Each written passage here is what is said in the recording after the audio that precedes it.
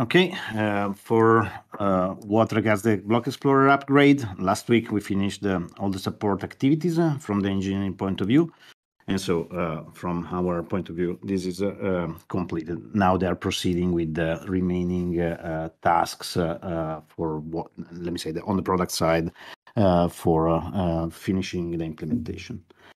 Um, speaking about Zendoo, one other thing on which uh, we are providing support is the document with the technical specifications for our partners in order to have them upgrade uh, their integration with us. In particular, we are preparing different guides to, the ta to target the different stakeholders, such as uh, mining pool, exchanges, and so on, uh, with the goal to share such guides with them in the next few days. Then, uh, let me say, proceeding with the zk audit chain, uh, we have completed the final debugging of the circuit, optimized the, the number of constraints, and we are currently addressing the last remaining items in order to finalize the implementation for the current milestone on the Rust side. In the next few days, we will also start working on the circuit implementation for uh, the next and last milestone. So good progress also on this. Um, on the SDK side, um, we are currently performing the last remaining file and code reviews in order to be able to finalize this, the SDK release soon.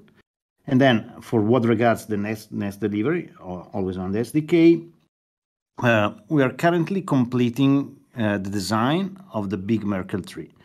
So, uh, I mean, um, this uh, component is needed for uh, handling uh, the, let me say, the, the uh, the UTXOs on the sidechain side. And so uh, it, it should be a, a Merkle tree able to um, manage a huge amount of leaves.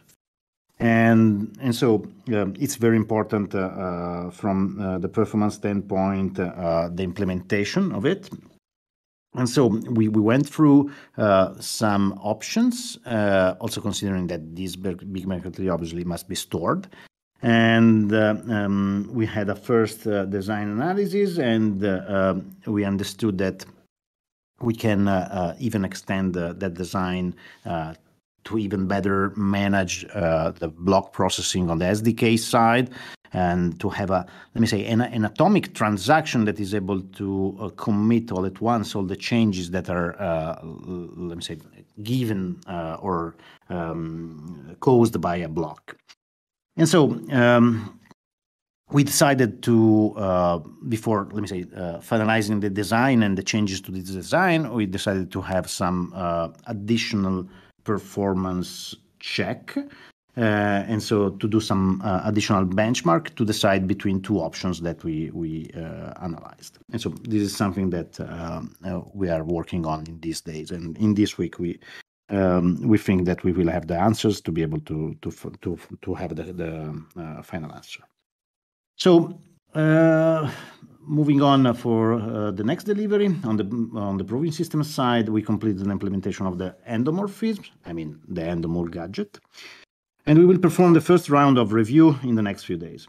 Uh, we also completed the second round of review for the polycommit refactoring task and uh, a few other changes were requested, and those are already being addressed.